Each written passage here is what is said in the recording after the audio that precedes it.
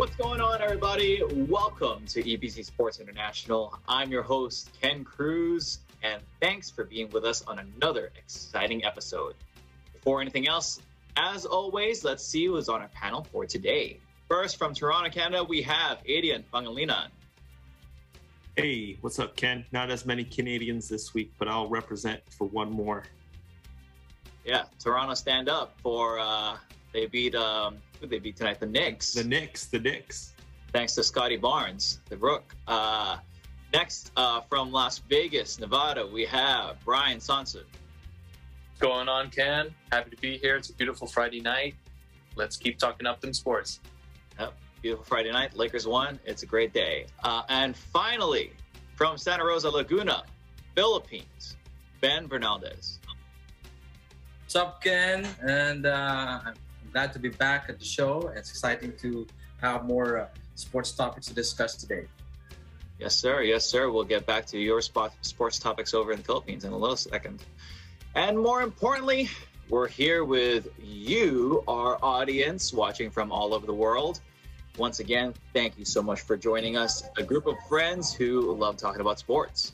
Before we get into our discussions today, let's start off with some news updates from the sports world.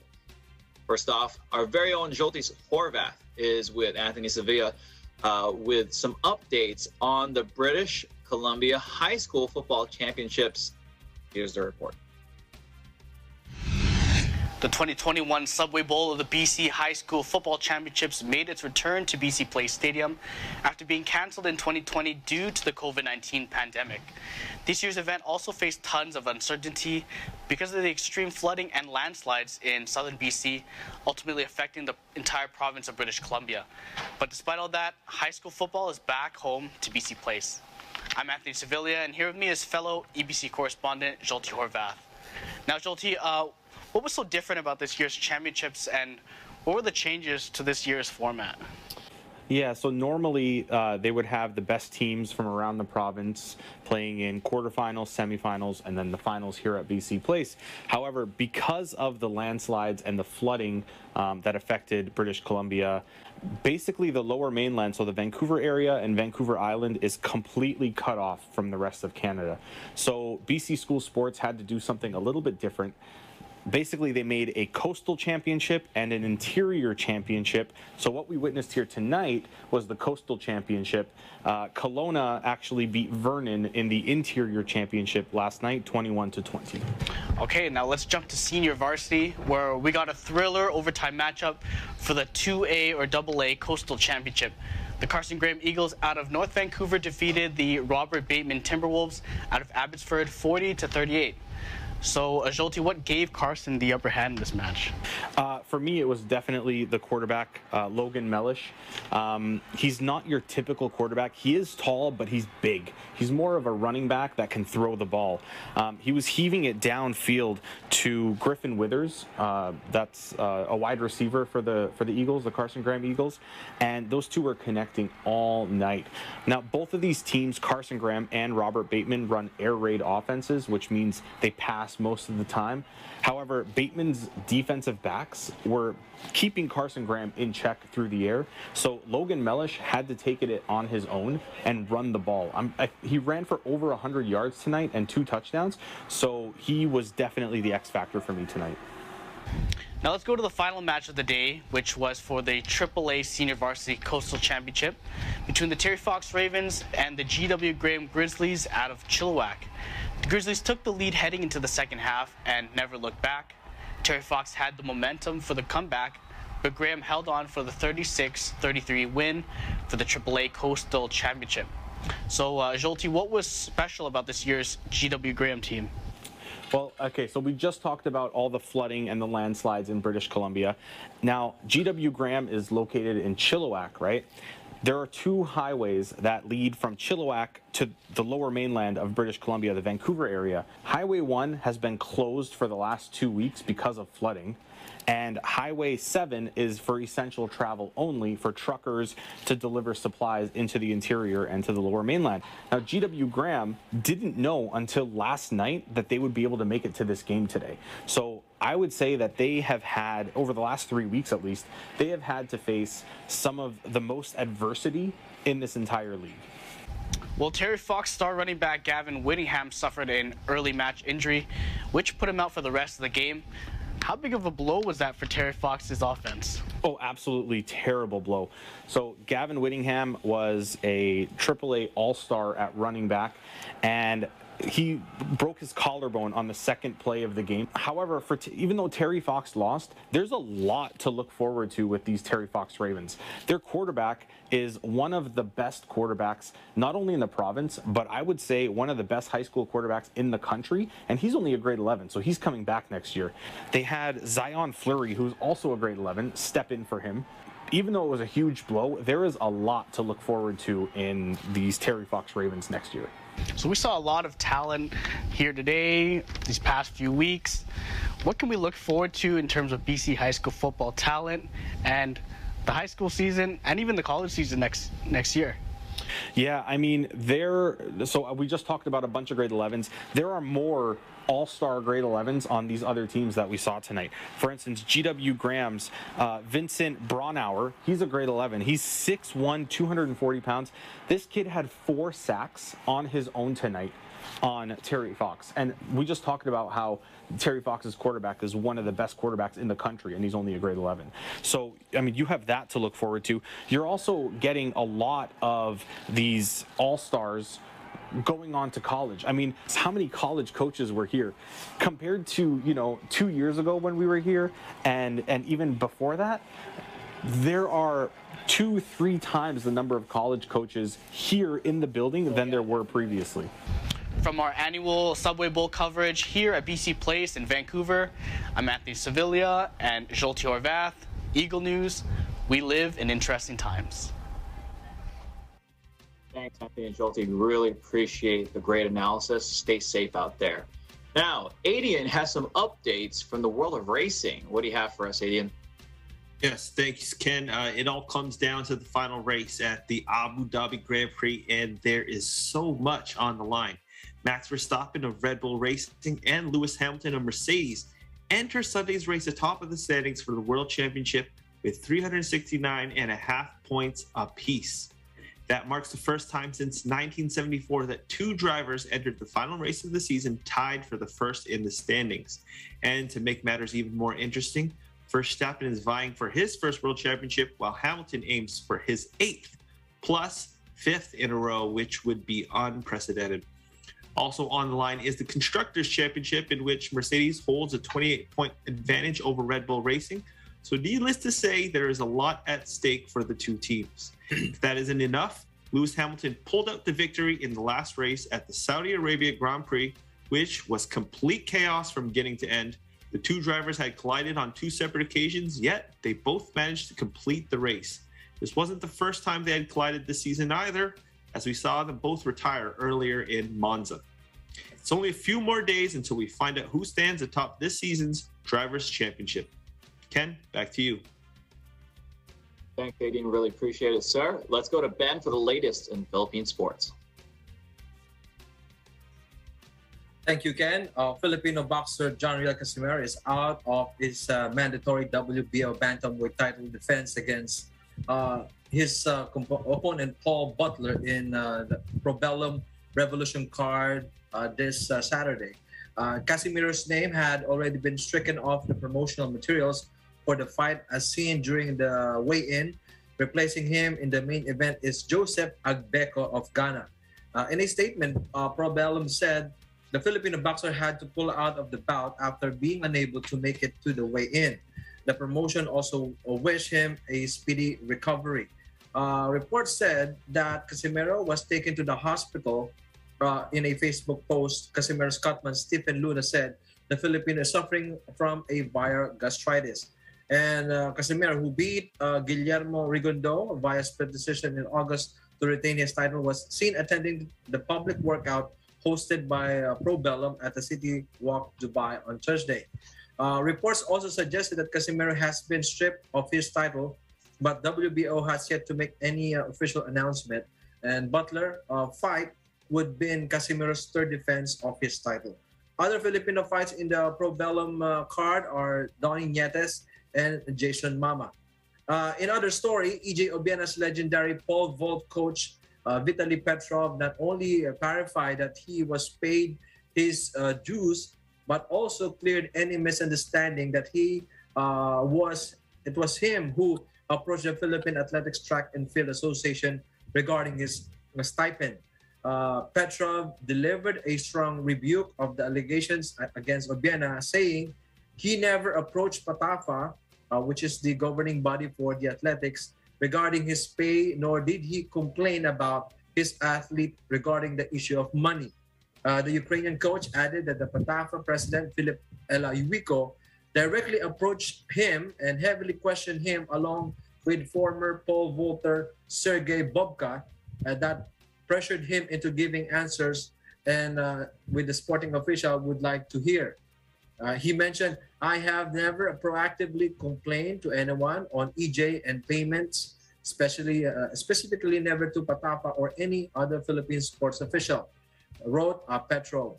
Uh, what happened is, he said, uh, he had been directly approached by uh, Philip Juico and heavily questioned alongside by former athlete Sergey Bubka in a manner which confused him and felt pressured to answer in a way that uh, they wanted me they wanted him to answer. So Petrov added that he thought the questionnaire was going to be used to help create uh, a smoother payment process, but was instead, uh, as he wrote, used as a weapon to destroy uh, the promising uh, career of EJ Obiena. the Patafa back in November ordered Obiena to return 85,000 euros roughly 4.8 million pesos for alleged falsification of documents and failing to pay uh, Petrov. Uh, Petrov also stressed that Obiena did pay him, even exceeding the 85,000 euros that he was owed, and said it was because of Patafa's inefficiency that he is uh, that his stipend was sometimes late. Back to you, Ken. Thanks so much, Ben. Really appreciate those updates for Philippine sports. Lastly, Brian has some news on the Olympics to be held in Beijing and how some countries are announcing a diplomatic boycott of the Games. Brian. Thanks, Ken. The initial functions for the 2022 Beijing Winter Olympics are right around the corner, and some U.S. authorities will not be making an appearance.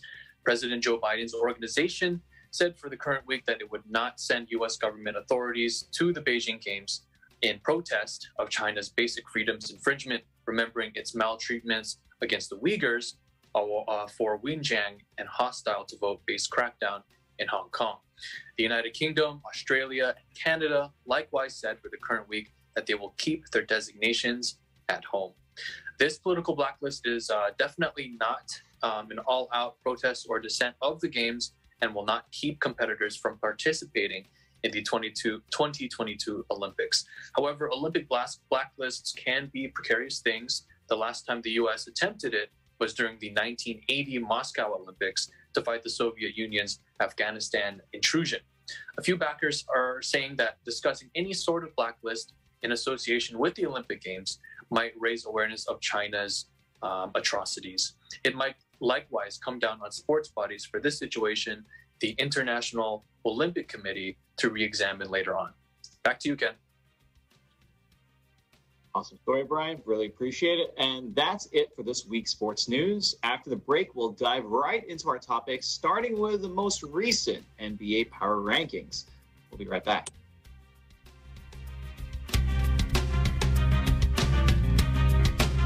Ang paggawa ng pelikula ay isang kamanghamanghang pagkakataon para sa mga mahilig manood ng sine o ang tawag ng iba ay pinilakang tabing. But as they say, it is another thing to create a filmmaking business that makes money. Para kumita ang pelikula, you need to know about sales, distribution, the audience, and how to get your film out there. Katulad ng ibang negosyo, pinaplano ang konsepto ng screenplay, ang gusto ng manonood, sino ang cast and crew para sa isang magandang pelikula, lalo na ang direktor nito at pakikipag-partner sa mga sales agents at distributors, maging ang uri tema o tipo ng pelikula. What can a person expect before embarking on the business of filmmaking or production? In this episode, we'll find out the tricks of the trade with our guest, the CEO of Kai's Ventures, Direct Eric Kizon, as we discuss directing and filmmaking as a business. Kung ang mga pelikula mo gusto mong makarating sa mga international platforms, ang pinaka-importante sa, sa mga to, kailangan maganda ang sound, kailangan maganda ang, uh, ang quality.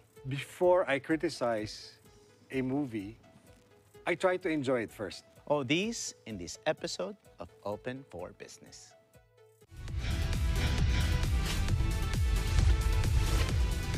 Tulong para sa kabuhayan ng mga katutubong ITAS, inihatid ng Responde. Pagsagip sa mga batang rugby sa Santa Rosa, Laguna, ikinasa. Mga batang isinilang na may club foot, bibigyan ng pag-asa na makapaglakad ng diretsyo. Sabado, alas 6 hanggang alas 7 ng gabi. Ito ang Responde, Mata ng Mamamayan.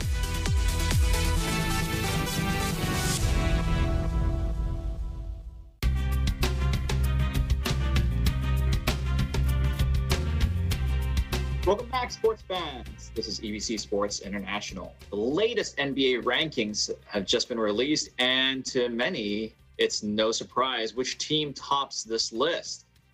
First, let's go do a quick countdown of the top five. So, number five, we have the Utah Jazz, not surprising. Number four, the surprising one of the season, the Chicago Bulls. Well, I don't know if it's surprising. We'll talk about that in a second.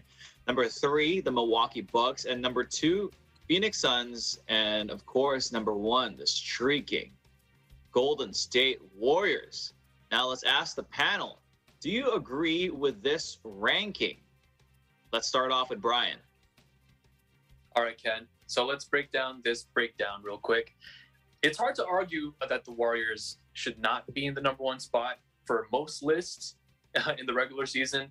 Uh, when you look at their team, when you look at how they play, they look poised for another championship run after just two seasons, two down years um, due to injuries. Now, the Phoenix Suns at number two, um, in my opinion, they are the clear cut number two in the league after Golden State. I don't think there's any argument there. Um, Chris Paul is Chris Paul. I mean, Mikal Bridges is locking up players, including Steph Curry. Um, DeAndre Ayton is just improving as a player, a team player, and a defender. Um, those rankings that those rankings I, I don't I mean, I, I can't argue with those. The ones that I do argue with, however, are the Utah Jazz all the way down to number five. Um, that one's a little bit confusing to me.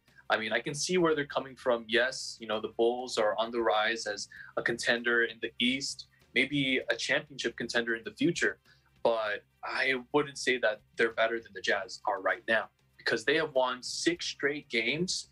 Um, and really no one's really talking about them. And i think it's because you know they're you know kind of a smaller a smaller team um, smaller market uh, team in the league. Um, outside of donovan mitchell and rudy gobert none of the players really stick out as a you know a marketable team. Um, but i mean they just they just keep on going in in and out of games winning them. And like for example i mean look at rudy gobert. Um, people are just kind of bagging on him for some reason but I mean, he he kind of you know shuts them out by responding to, to them um, in his in, in his play, not by talking to them, not by talking trash to them. And he just did that last night too by putting up uh, I think a double double, 17 points, 21 rebounds, something like that. So I really honestly don't think the Jazz get enough respect, and I think that shows with with a ranking like this. Yeah, uh, Pat Bev talking uh, smack about Rudy Gobert is the funniest thing I've heard all week. Um, you know, it's just a really strange thing. I mean, there's levels to this, right? Um, there's a reason why uh, Rudy, Go- Rudy Gobert gets paid what he gets paid, and Pat Bev gets paid what he gets paid. Um, but I mean, other than that, I mean, Adian, like the the the Warriors are are streaking, yet they still don't have Klay Thompson or James Wiseman. Those guys are set to be back supposedly sometime this season. Klay a little sooner than James, but I mean, do you think they're going to keep this number one spot, especially with Steph Curry only 10 three pointers away from number one all time three point uh, three points made in the NBA. Adian, uh, I think you're on uh, you're on mute, sir. I apologize. I apologize. Yeah, no worries. No I- worries. what Go I ahead. said, what I said is, uh, what Steph Curry is doing is unbelievable. The way he's performing on a day-to-day basis is is just it makes you uh, just really pull out your hair if you're an opposing team, but also if you're a Golden State Warriors fan or even a Steph Curry fan, uh, you're just left in amazement. Um, yeah, I, the Golden State Warriors. I said this about uh, last week. I do feel like they're built for a title this year, um, but it's going to take time, I think, for Klay Thompson to gel, for James Wiseman to gel, um, and I do think, as deep as they are, they don't have as much experience, relatively speaking. Like we, we, we know Klay, Draymond Green, Steph Curry, those are the three anchor pieces. And maybe you throw in Kevon Looney there as the guys who've been there for a long time. But uh, guys like Andrew Wiggins, Jordan Poole, uh, you throw in some of the rookies that might be contributing, even uh, Bjelica, uh, another guy, Otto Porter Jr. Those guys have only been with the team for a little less than two seasons. Um, maybe Andrew Wiggins is that guy to kind of like, yeah, to, to, to really to glue things together.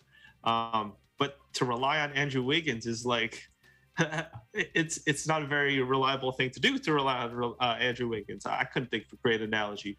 Uh, what I'm trying to say is, uh, I'll repeat what I said last week. The Phoenix Suns, I feel, are more built for regular season success, just because of of how they've won um, in the past and how how much success they've had in uh, the past postseason. I think that because I just feel like everybody knows their role on that team. Uh, they're very solid from top to bottom. They're well coached. I feel like they could sustain injuries, as we've seen with Devin Booker being out right now. Um, they play solid defense. Mikal Bridges is probably going to be Defensive Player of the Year this year. Um, and DeAndre Ayton has missed tons of games, yet they still keep rattling off wins. Now, if that were the case with the Warriors, if they were to lose either Steph Curry or uh, Draymond Green, I feel like they could take a slide. Um, and maybe that might reflect in the regular season record. I just think that Phoenix, at the end of the season, will have a better record. But what I will say is Golden State is more built for playoff success. That's all I really got to say about that. Uh, great, great points, Eddie. And I mean, especially, I think the the biggest Achilles heel for Phoenix, uh, for Phoenix specifically, is CP3 in the playoffs. I mean, he's proven time and time again that he can't stay healthy at the last stretch, and that has really affected a lot of his uh, playoff potential. Whether it would be with the Clippers, the Rockets, and even the Suns last year, he was always hurt when they need him the most, and that is very um, disappointing. I mean, but I mean, what can you do, right? I mean, especially now that he's a lot older, he's one of the old, uh, you know, oldest players in the league, especially for his team, um, with at such a vital position.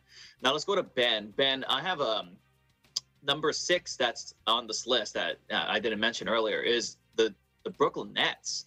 Um, you know, obviously, there's a, a solid chance that Kyrie Irving won't play the entire season and that's looking more like a reality than it is than it isn't. Uh, uh, so, I mean, what are your thoughts on the Nets without Kyrie, still with a struggling James Harden, but you know, KD is still putting in work. Uh, I mean, what what are your thoughts on them being number six and them potentially still being the you know the top um, team in the East? Uh, I'm surprised that they're only in the top six. Uh, I would uh, uh, put him on top five rather than the Utah Jazz. Uh, the Nets are still a pretty strong team without Kyrie.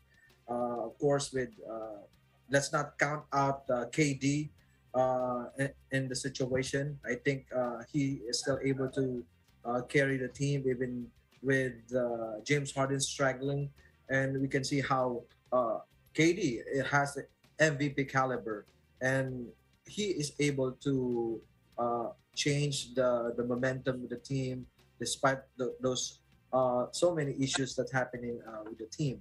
And uh, I think uh, in, in the next coming week, uh, probably the, the rankings will definitely improve. And I, I don't see Kyrie really playing for the Nets, and the Nets better trade him as fast as soon as possible, so that they can focus on uh, winning. Um, because of the situation, uh, really don't know what's happening with Kyrie. So that's it's better just to let let him go and just focus on what what they have right now. Uh, definitely, they are still a strong contender. Uh, I would put uh, the Nets on top five rather than the Utah Jazz, but still the number one, number two, uh, the the Warriors and the Suns are playing great basketball. And my bold prediction would be definitely the, the Warriors going all the way to the finals. And let's see who's going to be the, going to be the uh, their opponent on the final set. So that's that's not that that's my bold prediction. Well, I mean, that's not that bold of a prediction. But what is your bold prediction for the Eastern Conference finalist? Uh, for the Eastern Conference Finals, um, uh, I think that's the. We'll probably have to choose with uh, with either. Uh, I would definitely choose with the. With with Suns going uh, the second and with the Bucks. They want to have to have to really have to defend their title. So either of those two. All right, Wa- Warriors, Warriors and Bucks. It is. I mean, no, uh, Adian or Brian, are any of you guys gonna take the Bulls going to the finals this year? No, no. Too young, uh, too inexperienced, and they're not ready. They No. can't beat the Bucks. They can't beat the Nets. No. Uh, Brian. Who's going to stop Giannis? I mean, who's going to stop Great Giannis? point. Who's going to stop KD? They need to have that kind of a stopper in order for them to get Right. past. Who's going to stop And- Embiid even? Well, that and the only champion, not the only, but the main championship experience you have on the team is Alex Caruso. That's great, but that's not enough. Um, Hey guys, it, can I ask one quick question? Is there any word on the plant-based vaccine? Because I heard Kyrie Irving will take that, so if that's the case, he may return. Nothing I've heard from the FDA on that, but I mean, uh, let's not rule out something crazy uh, that might change. I mean, this has been a crazy season already. Um, not including we haven't even talked about Ben Simmons, but it's a crazy season where a lot of the stars are just all over the place. But uh, speaking of stars, oh my goodness, let's talk about the second NBA topic. So, the New Orleans Pelicans also on the waiting game uh, when it comes to getting their star on the court. Zion Williamson, obviously the team's like superstar top draft pick from a couple years ago. We've all seen these pictures. Um, we've seen him warming up, doing the the the the side uh, the sideline uh, liners uh, extremely slow uh, a couple months ago, and recently there's been accusations that he has blown up to 330 pounds, or for those um, in kilograms, uh, 149 kilos. Let's ask our panel what are your thoughts about Zion now and his future? Let's go with Ben.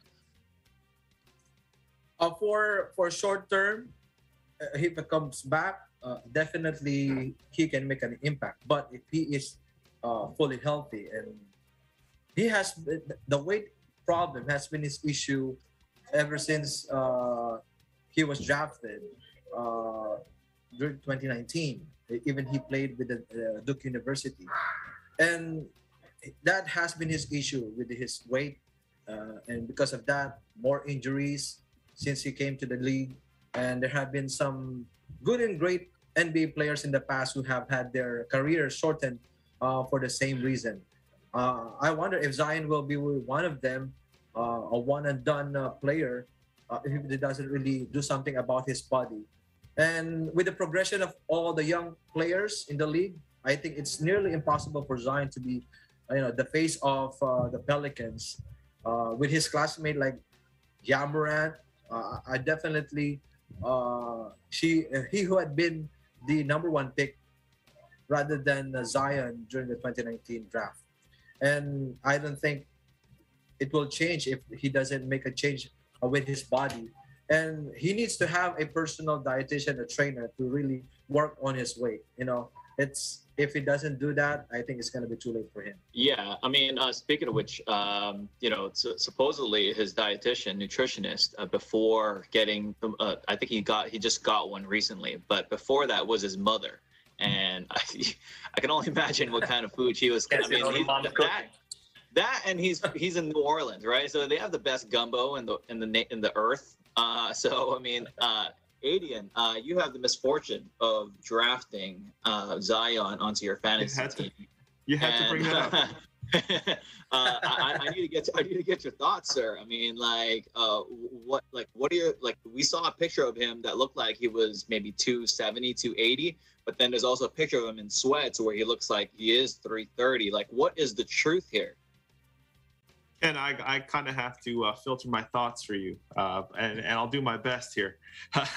but from the very beginning of his career, there were red flags. Uh, I don't want to go that far back, but looking at the beginning of this offseason, he had knee surgery. David Griffin and the Pelicans and all of the executives kept that under wraps. They didn't let anybody know he had surgery until the media press conference on uh, media day. Uh, so that means he did not work on his game all off season meaning when he was cleared for five on five activities only weeks ago, that was pretty much the first time he's played basketball since last regular season. And then we find out five days after that, he tweaks his foot and it's nothing to be, it's nothing serious. But I mean, he's already missed more games than he's played. I saw a stat, he's missed 86 games and he's only appeared in 85. That is, that there's tons of red flags. Also, like you said, it doesn't help that he's in New Orleans. It doesn't help that his mom is his dietitian. Uh, it- there's a lot to be concerned about. I, I, there's tons of red flags. Will he be an all-time great? I, I not not the way it's progressing right now. And uh, New Orleans just seems like they have this curse going on. Uh, it's it's tough. I, I, um, it's it's it's very unfortunate. Brian, before the break, let's get your quick thoughts. Yeah, no, I just wanted to say, I mean, like what Adian said, it, it's been months since he stepped out on the court. I mean, some some New Orleans uh, sports fans are joking that he's playing the wrong sport and he should play for the Saints because they could use some help. and to put it simply, honestly, he, he could really only make a positive impact because right now he's going to make a negative impact on the court immediately, just from the way he moves, just how slow and out of shape he's going to be. And, you know, especially with his knock knees, I mean, I'm hoping that we don't see the end of his career because he has so much potential, so much potential. He has all the physical tools in the world, but I really don't, I really hope it doesn't end, you know, from an unhealthy diet. That would be the worst way to end his career. Agreed, agreed, and it's tough. He looks like Shawn Kemp at the end of the end of, end of his career, and even when he was in Duke, he was waddling like a penguin. So I mean, like it, the signs were there, as you guys mentioned, the Yep. flags were there, but I mean, he is an all-time generational talent, and for that, um, you know, we only wish the best for him. Hopefully, he can recover. Thanks for the takes, everybody. We're going to talk NFL right after the break. Don't go anywhere. EBC Sports International. We'll return in a moment.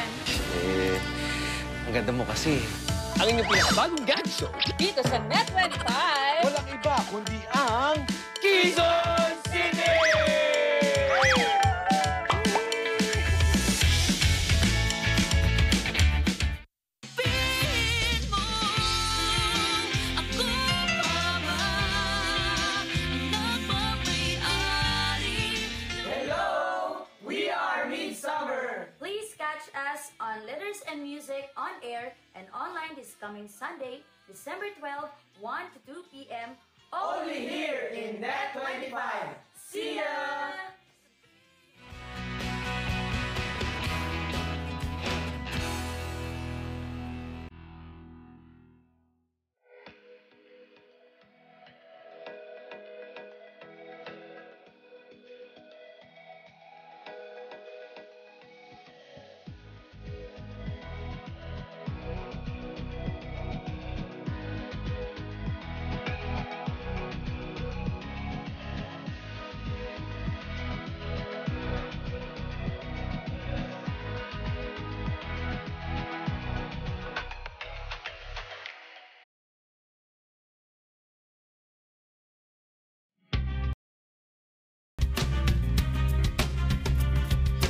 Welcome back, everyone. This is EBC Sports International. I'm your host, Ken Cruz, here in Washington, D.C.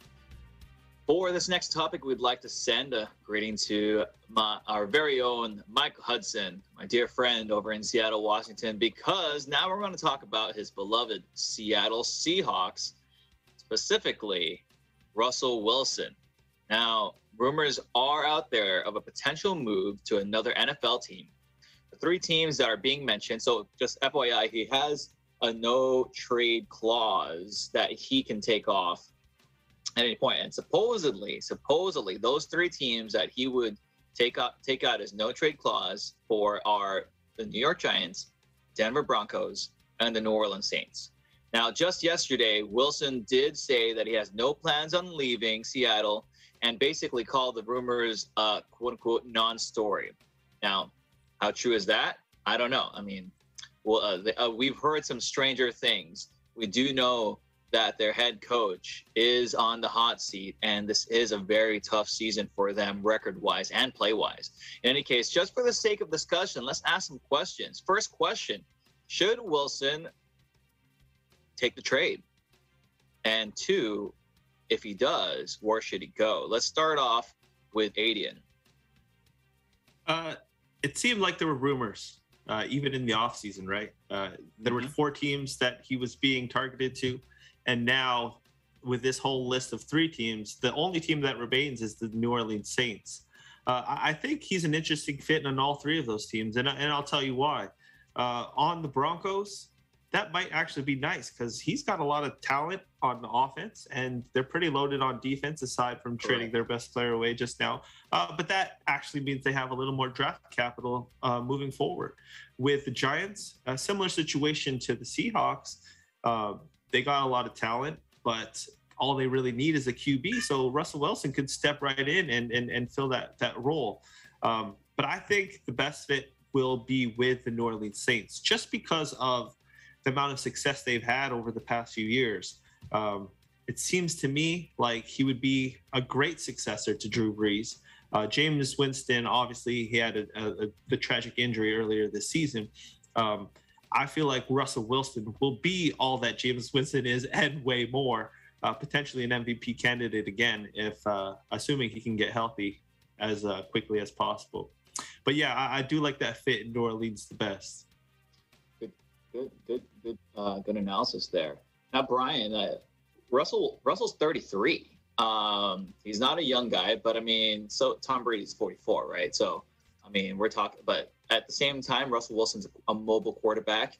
Yes, he can throw, and yes, he does have good accuracy. But I mean, his numbers haven't been stellar uh, coming back from the injury. I mean, what do you think? Does he have enough uh, left in the tank? And what are your choices? Uh, what's your choice for best team? Should he accept the trade?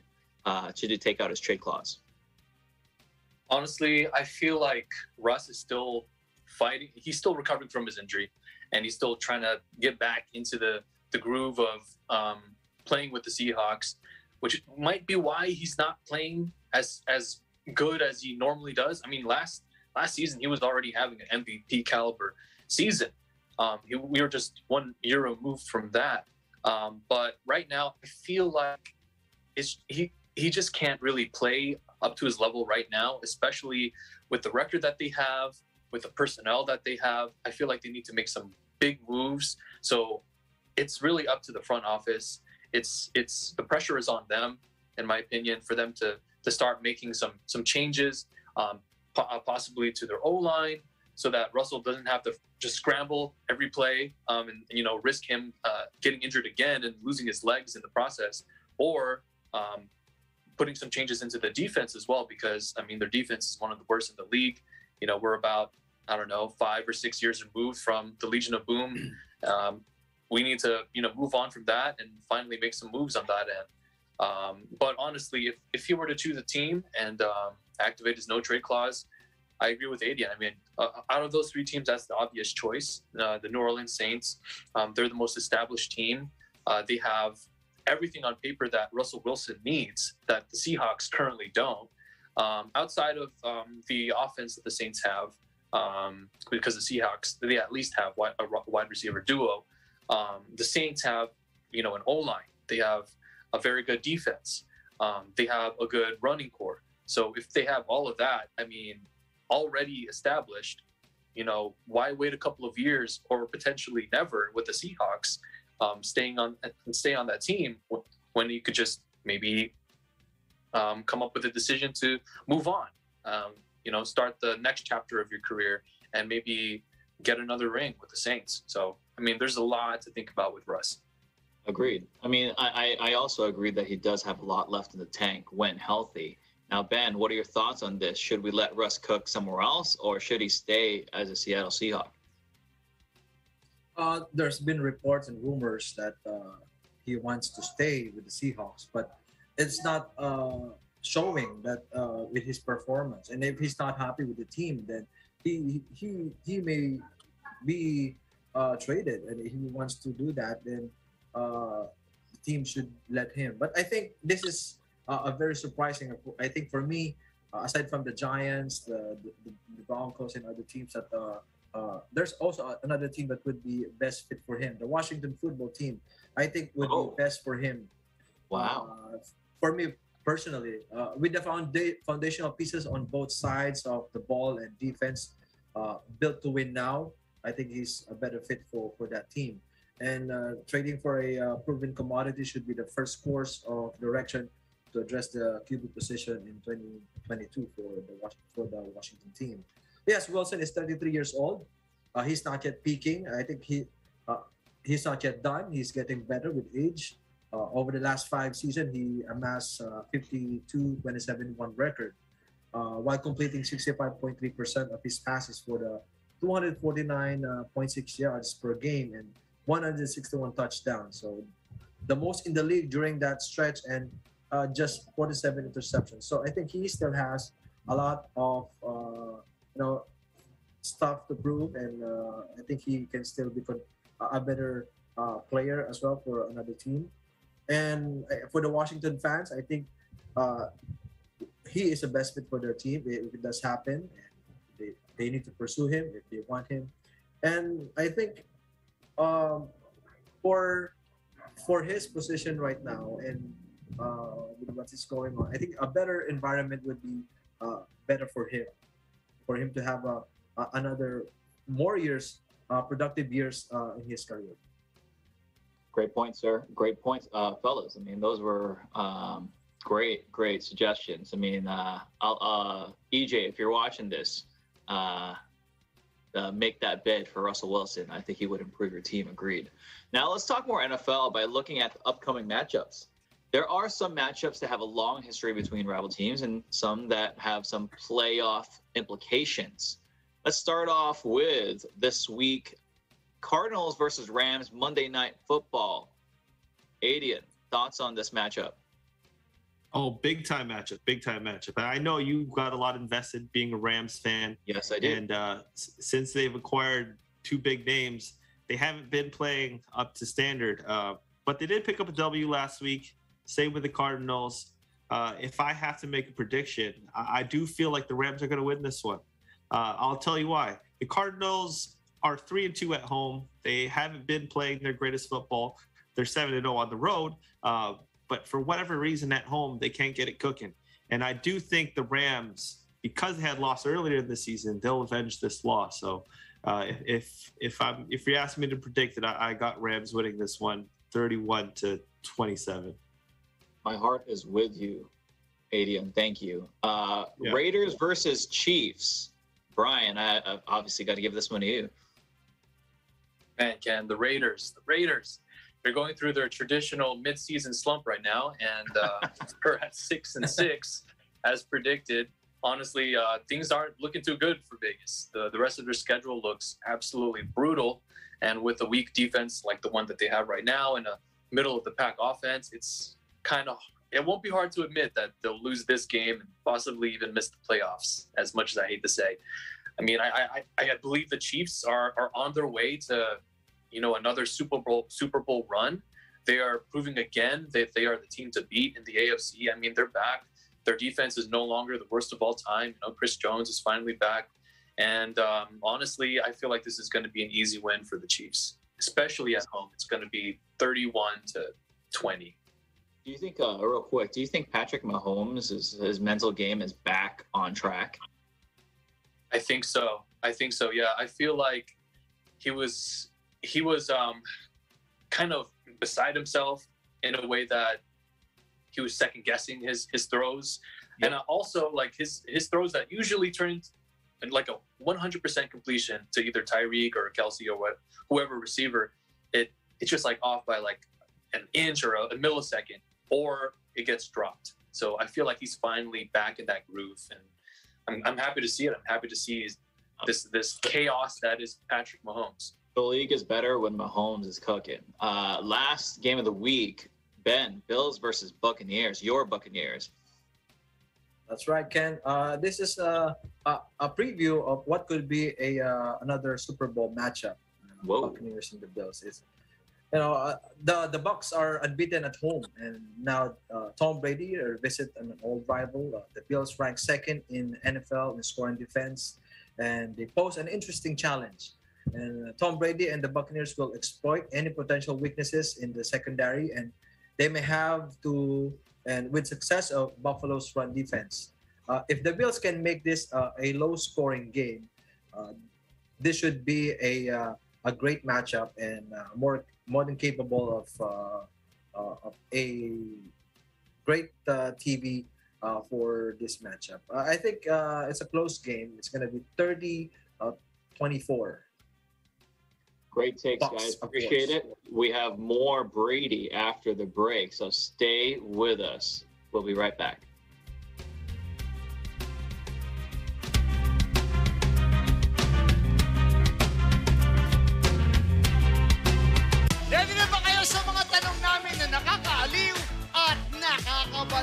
Let's take a look at our talent gamers for tonight. Mike Cabasco, a.k.a. Ma Willie Taylor. Herman Santos, a.k.a. Apple D.A. Christopher Samson, a.k.a. Kuko Martin. Michael Angelo Lasak, a.k.a. Mr. B. Paul.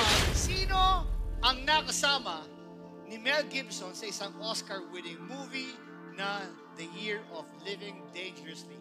Mr. Big Don. Or, ah. B. Not again?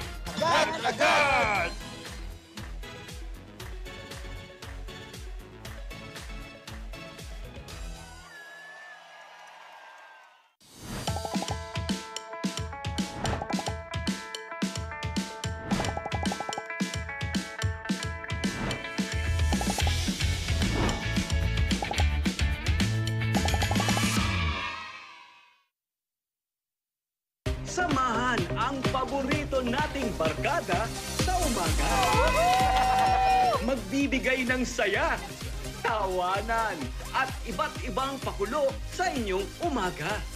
Busog pa kayo sa kaalaman. Tony knows! At updated sa umaarangkadang mga balita. Matutong kumita, magluto, mayroon ding sayawan at kantahan. What? I am a good girl. Ang programa na nagbibigay inspirasyon sa bawat kada all over the world. Here in Net25, we are your fans. Group Lunes hanggang Biyernes, alas 6 hanggang alas 8 ng umaga. Dito lang sa Net25. At home kayo rito.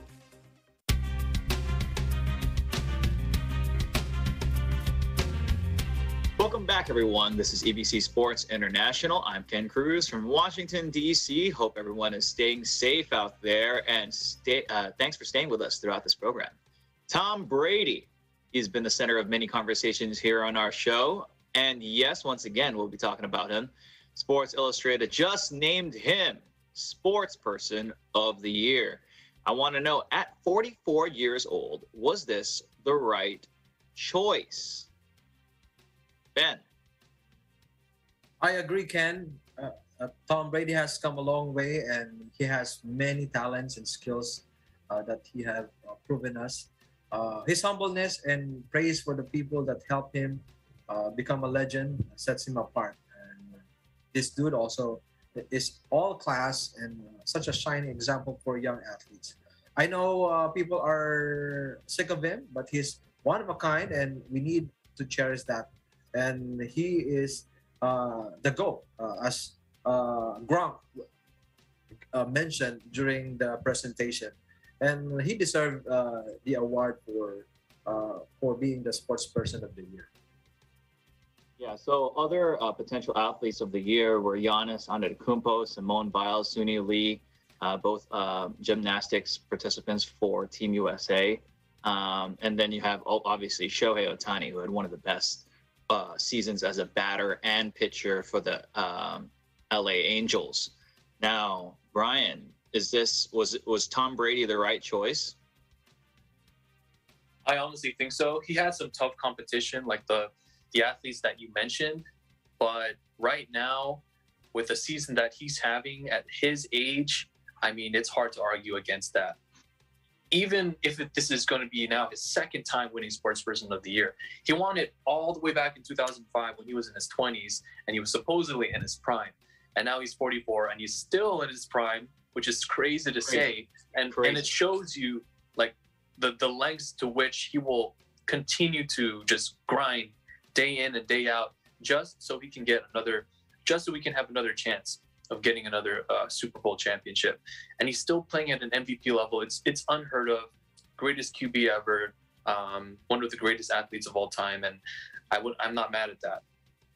Yeah, I mean, uh, Aiden, uh, round us off. What are your th- What are your thoughts on uh, Tom Brady, Sports Person of the Year by Sports Illustrated? Yeah, no argument there. He, it seemed like the right thing to do to cap off a magical season uh, from going to Tampa, making that decision, bringing Gronk with him, uh, and winning a Super Bowl in his first year outside of New England. Yes, Uh, sir. that is that that would have been like if Michael Jordan went to the Wizards and won in his first year. You know what I mean? Like that doesn't happen. It, it'll be like if Tiger Woods comes back from injury and wins his first tour. Uh, that like it's just it's unheard of. It's not going to happen ever again. A- And I think Brady is not just now. He's not just chasing rings. He's chasing greatest athlete of all time, like ever. He's trying to chase the likes of like Muhammad Ali and and and those greats.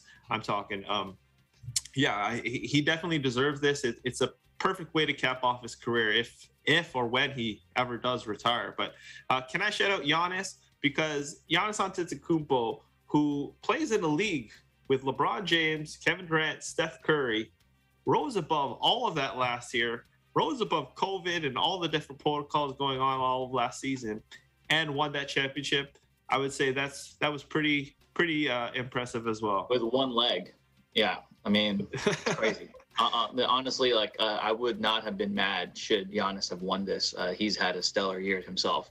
But fellas, thanks for the takes on that. Let's finish up with the question of the week. So, as many know, Lions finally won. The Detroit Lions finally won their first game of the season thanks to Jared Goff's uh, last-second touchdown pass. Former Rams, uh, uh, Jared Goff. Uh, which team from any league had the all-time worst season for you? I'll start. For me, it was the 2015 2016 Lakers. Um, Kobe's last year, actually. Uh, they had their franchise worst year the year before, and then they had the franchise worst year that year, Kobe's last year, winning only 17 games, 65 losses. Personal worst season for me. Now let's go to let's stick with Adian. Uh, yeah, that that was a bad year. I can agree. Those Robert Sacre and uh, Wolf, uh, Wolf. I, I, couldn't tell you another player on the team. Yeah, sorry. Uh, yeah, I personally, it's a recent one.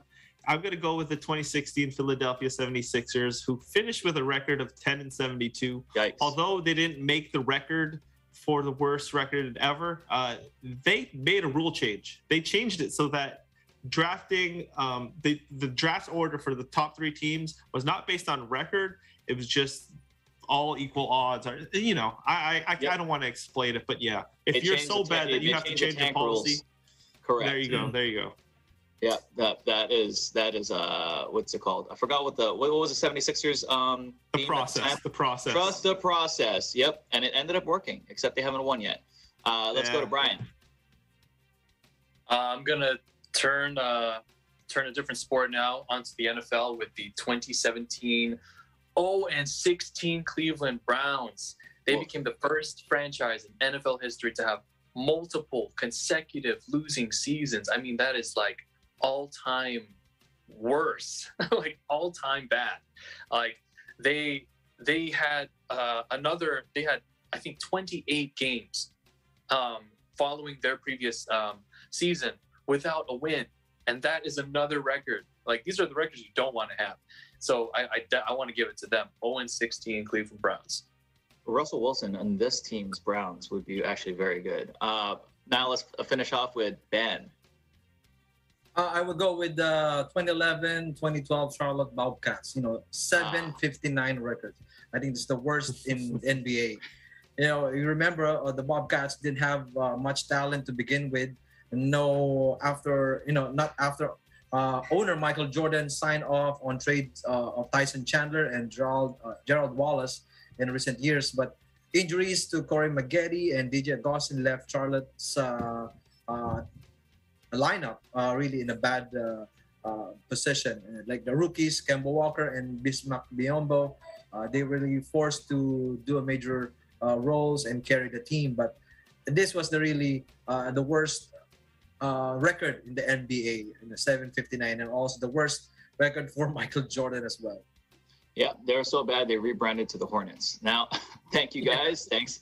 Thanks everyone. That's all the time that we have for this week's episode. On behalf of our panel, thank you so much for joining us and be sure to tune in once again next week. Be sure to visit our websites at eaglenews.net and eaglenewslive.com and watch us on net25.com. Like us on Facebook and follow us on Twitter at Eagle News PH and join the conversation.